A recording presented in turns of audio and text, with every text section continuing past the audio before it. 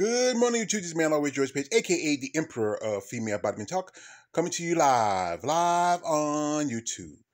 Well, folks, we have a show coming up this weekend, and it is the inaugural Lenda Murray Atlanta Pro. This is the one of two shows that Lenda's going to have in the state of Georgia. Now, she has um, the uh, uh, Savannah coming up in September, where I'm planning on going, and this is um, usually this year, usually this time you have the Norfolk Pro, but the Norfolk is no longer exists. I wish Lenda kept that show. I mean, like I said, where I live at, Georgia's, uh, Virginia's just slightly a little closer to me than Georgia, because you know I live in North Carolina. You got to go through South Carolina to get to, to Georgia, and you know, and I think you know Virginia's a lot closer. But you know what? This is a, great show. I, you know what? I would love to see that uh, Lenda uh, expand her brand, kind of like with Arnold. You know, we need someone like Lenda for women's bodybuilding, and she is appreciative you know, of her and what Serena Strength is doing. Now, this is a show which is uh, Olympia qualifier, and it's only one of um, four more shows left for the season. You know, for the end for qualification for the Olympia. I think there's about you have uh, Chicago next week. Then next month you have um, you know, um, you know, Chicago next week. There's also the World Master Championships that same week. Also, um, Tampa next month, and Savannah in September. I'm planning on going to Savannah because, like I said, Savannah is, is a good ways from where I live. And, and I want to go see this be my first official show. So anyway, you have four divisions in the show. Most notably, women's uh, open. You have uh, men's uh, classic physique, figure, and men's physique. You know, this is you know not no no real the, the, the real heavy banana hammocks like open, but still this is a great opportunity for you know these other divisions to stand out you know, and not you know take the shine off. But also, it's an NPC, um, you know, uh, national qualifier, and which also the winners of each division will get you a free entry into the um, upcoming Olympia amateur show. You know, meaning that they don't have to pay entry fee. That's great because some people I talk to, you know, they, it costs money to be an amateur. It costs a lot of money compared to a pro, but it costs money. So, you know, and congratulations to anybody who will get a chance to go to Olympia and become a pro. Um, you know, I, I wish you all the best of luck. So, anyway, this is the longest, you know, list we have of ladies in bodybuilding in the, past few months. I know it's been kind of, you know, you know, lackluster. Some shows you had one show, one woman won. You had two competitors in a couple of shows, and three or four, sometimes even up to as, as high. I think about seven or eight. But you know what? This is a long list. And I didn't want to do it just yet because you know, I want to wait till if anybody more is going to register. But we have 12 wonderful ladies representing themselves in the sport of bodybuilding. And some of these ladies I know from social media, some I have um, become quite acquainted with. And, you know, and I wish them all the best of luck. Now, first off, we have here is Michaela Aycock. As you saw um, on my channel, on my YouTube channel, on my IG, I posted that Michaela, you know, while she was um, in um, Atlanta, she, her car got broken into and they stole her her bag with her posing suits and all her other materials for its competition. We're hoping that um, Michaela you know, get some stuff. I mean, she has family in Florida. They, you know, it take it long. You just got to get a flight, boom, hit into the Georgia, into the Atlanta airport, and um, then boom, she probably got her stuff already because it happened a couple of days ago. So it shouldn't take her long. She probably got her materials, and she's probably ready to go. I think Michaela's probably one of the top um, top um, prospects for the show because um, last year she went Omaha Pro, and then she went to the Olympia, and also she placed in the top five at the Rising Phoenix. And I think she's competing this year again in the Rising Phoenix. So so best of luck, Michaela. Next up, we have Shaquita Barrero. And Miss Barrero is from my home state of North Carolina. Now, she earned a pro card uh, back in 2021. She made her pro debut in the New York Pro. She made top five. She had fourth place at that show. And, you know, she looks impressive. Um, if she makes the adjustments, you know, come in a little bit more condition and maybe add just a little bit more size. And it's been almost two months since New York. She can do pretty good. You know, she's impressive young lady. And I hope the opportunity I reach out to for an interview, I hope she can get back to me. I would love to interview her, especially somebody in my home state of North Carolina. Next up, we have one Miss Jennifer Childress. Now, Miss Childress, I've done videos before about her. She is also of Native American descent. Now, she earned her pro card back in 2020. And, you know, she is, one point, she was a Wings of Strength ambassador. I think she you know, still is or not. I can't remember. It's been a while. And, you know, she looks pretty impressive. She has a good amount of size, but she got to bring it in condition. It's going to be tough. You're going to, there's a couple of heavy, heavy hitters here that really can really give her a, a run for money. Next up, we have Miss Leah Denny. I'm social media friends with Miss Denny. I told her best of luck. She's an amazing woman. She earned her first Olympic qualification at the New York Pro. Also, she made the top five at the Rising Phoenix last year. She's also Wings of Strength Ambassador this year, and also she's competing at Rising again. Amazing woman. This woman's 57 years old and looks pretty good. I mean, you can't believe it. You know, wow. You, you wouldn't think, you know. But like I said, there's a growing number of women who are 50, who are mothers coming into the sport. Much respect to them. Here we have is Julia Furry. Now, Miss Furry is probably one of the top contenders of this show. And, you know, last year she debuted as bodybuilder at the Tampa um, Pro. But, you know, she was originally, she earned a pro card in 2019 as a physique competitor, made the switch. She's this year, she's Olympia, she's a Rising Phoenix ambassador. And, you know, she did Puerto Rico. She took second in that show, even though it was a lineup of three women. But you know what? She has a good amount of size, but she has to come in a little more condition. You know, Reshanna Boswell was, her, was at her best at that show. A lot of people say, "Oh, it was a robbery." No, she just didn't come in tight enough. But you know, I've seen her on social media. She's been working with Asha Hadley and a couple other ladies here in the states. I thought she would do the Porto, the Portugal Pro, I mean, and probably earn a qualification there. But you know, this show could be a possibility, all depending how condition she comes in. Next up, we have one Miss um, Tamara Gorley, if I name got a name right. Now she competed a couple of shows just this um you know couple of months. She was in physique, and she last competed at Puerto Rico in physique, and uh, I'm, that's been barely three weeks ago.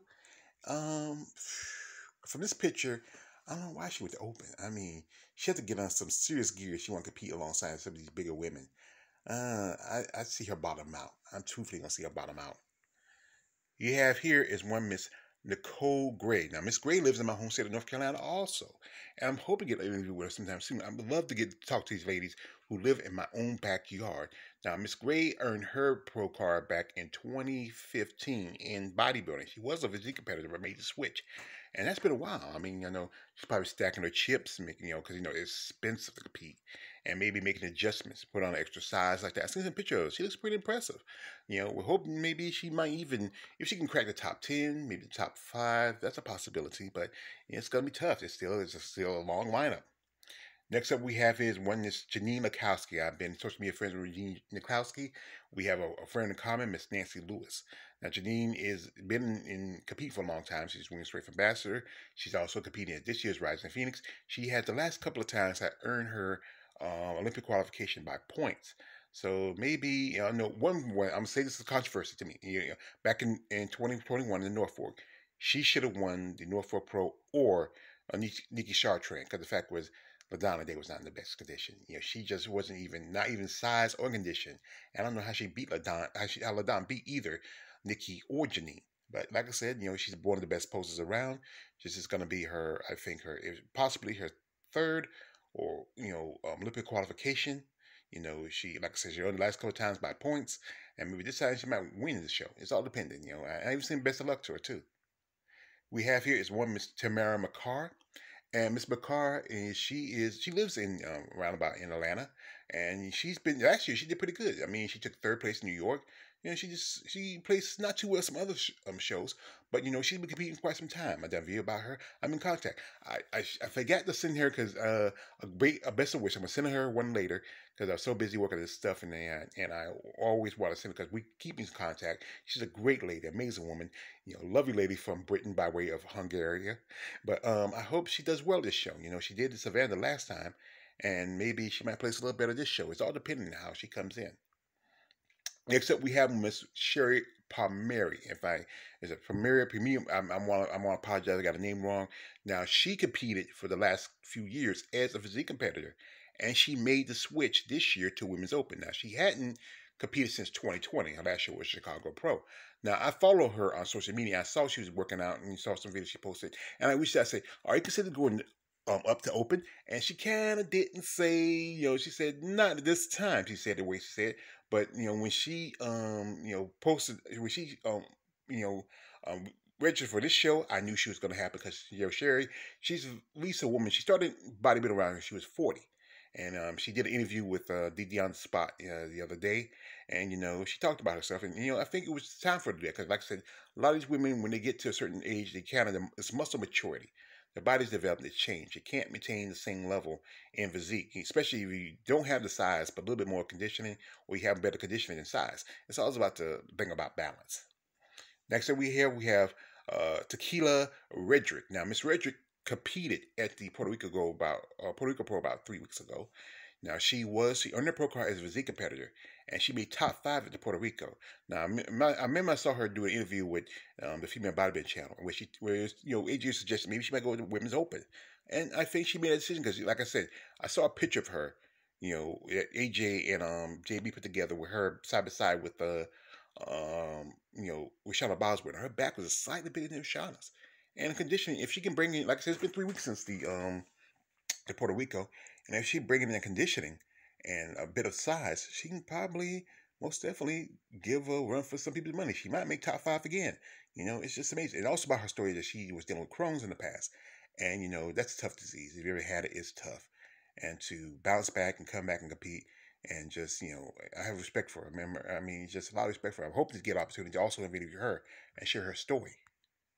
Here, and last but not least, is one of my favorite people of all time, the lovely, the beautiful, amazing Miss Tina S. Williams. I'm a fan of Miss Williams. You know, shout out to my her husband, my big brother, Mr. Big Keith. I hope he's doing well. You know, he's a great guy. He's an amazing person. And the other week, the other day when I did my live stream, I wish I had him on because I know he's he's great. He's very intelligent. He's very informational. You know, he really really helped me put together this whole thing. I was talking about him doing that live stream um, about you know, a few months ago. But, you know, I said, you know, uh, I would love to have him on, but I think he's a great guy. I hope he's doing well. But Tina, me, we've been talking on the phone. You know, I'm seeing how she's doing. As you know, she's there, and this is an opportunity for her possibly get her first Olympic qualification. Now, she's a Wing ambassador. She's a, she's been in the Rising Phoenix. I remember we did an interview last year where she told me she missed going to Olympia last year by a point. Back in I think back in 2020, by a point because she didn't do Tampa. And we were also talking that she would love to have done because she'd done Omaha back to, at least three times in a row, and she hated the fact she missed it this year. Now, um, you know, she would love. She she she she only she well, she told me she was only three three hours away for Omaha, but there's a lot of stuff you got to do, signing these papers like that, all this to do the shows. You know, it's a lot of hoop jumping you got to do, and she hated it. Even though she sent me pictures stuff, her condition is pretty good because you know she's a tall woman, and like I said before, like conditioning and size, it's harder for these taller women to get the size, so they had to either get conditioned, and she's getting conditioned because she knows she's being trained by Alina Popa, and Alina has trained a lot of great people. You know, Lisa Cross, um, you know, uh, so, several others who have trained under Alina, and she is kind of like the new version of um, uh, the I would say the female version of, of Joe Weider. I think I would say, or or maybe you know, I think yeah, she's kind of the female Joe Weider. You know how Arnold trained under Joe Weider. But you know, Tina and I've been talking. You know, she's been hanging out. Uh, her her daughter Kansas, who I, I, I love and adore, she was hanging out with her. You know, you, if you follow Tina on um, social media, uh, she gave a little girl smoothie while she was doing the cardio. you don't give a little baby smoothie; you want something to eat. You know, but you know, much respect to Tina. Tina, where she's looking, if she comes as dry as tight as she is, you know, get like that whole that say it's the, those full muscle bellies. Tina can be a contender. Like I said, like I said, it's a lot harder for these taller women to you know really you know put on you know the size because you know usually the like girls like like um Michaela because they're shorter they can bulk up faster because their bodies are more compact. And with Tina, she has her limbs a lot longer, her arms a lot longer. It takes a lot, of, but her condition comes in tight. Body shows a lot of the women who's been winning, mostly women on conditioning more than size, other than Eva Montgomery, but Eva had no com- competition in her show. But you know, Tina, I have a lot of respect for Tina. I think she's a beautiful person. I hope to get to meet her someday. I know she told me she's planning on going to Savannah, maybe working the booths. She wanted to do Tampa because, but they so hold her back on Tampa. She's gonna plan to maybe do some couple more shows before the season ends, and possibly get a, if she don't get a qualification to show, she can possibly maybe do a few more shows and maybe get a points. You know, right now the point leader for um, the Olympians now is Michelle Jin. I'm surprised she probably sitting on those points. I would, if I was her, I'd go ahead and do a show you know, if she'd done Omaha, she probably would have, you know, most definitely, you know, got her Olympic qualification compared to the other two ladies that was in that show. But like I said, I want to wish the best luck to my dear friend Miss T.S. Williams. I'll probably call her later this afternoon, see how she's doing, how she's feeling, you know, pain, maybe, you know, just, or send her a text, because I know she's, she really has a lot on her mind. Anyway, the show is going to be tomorrow. um, around about I think about eight o'clock. You know, that's how they usually start the shows. So the pre-judging. then they have the finals in the evening. I would watch a live stream, but right now I am getting short on my budget. Gas is expensive, folks. Gas is expensive. And I'm want to wish these ladies, all these ladies, congratulations on this upcoming show. All the best of luck. Um, like I said, much respect to these women because they put in a lot of hard work. And even though I think one thing is, um, you know, Lenda Murray, much appreciation to you because the fact is, you've been fighting for female bodybuilding than most people have. Both you and Jake Wood. And Lenda, I wish you could maybe next year at a couple of shows bring back Norfolk. And we had Norfolk back in, in 2020 because of what was going on with the pandemic. Bring it back. You know, have another show for these ladies that you know, especially ones that live in my home state of North Carolina, be a lot closer for them. Other ladies who probably want to do another show. I mean, you know, it, would be great if you know if she can expand her brand like Arnold. I mean, if she had Arnold's um, you know, money in his pocket, she got Jake's. That's just about as good. But you know, if she really had her own, she could really expand her brand. I mean, we we can add more female bodybuilding shows in like Texas and California, um, go across Mexico, mean, you know, and South America and Europe. I mean, hell, Africa. You know, be Lenda Murray in, in, in Africa, like Nigeria somewhere. You know, there'll be a lot of competitors overseas that probably love to do that, especially in that area. But like I said, much respect to Lenda Murray. Now, like I said at the end, I'm gonna post a link to the live stream in my um in my description. You, if you want to watch it, check it out. Best of luck to you. I'll be trying to keep up with it um, um tomorrow through social media because you know everybody's gonna post and talk about you know what's going on. Because I know a lot of ladies who will follow me will probably let me know what's going on. They're gonna watch it because they want to see who's gonna be coming up next for the Olympia. So much respect to the Lenda. Lenda. Much respect to all the ladies competing um, tomorrow, and much respect to you who follow Female Body And support these ladies. Be genuine and be supportive. This is me on our Waitress page, aka the Emperor Female Bodybuilding Talk. Like, don't like, subscribe, subscribe. I'm out.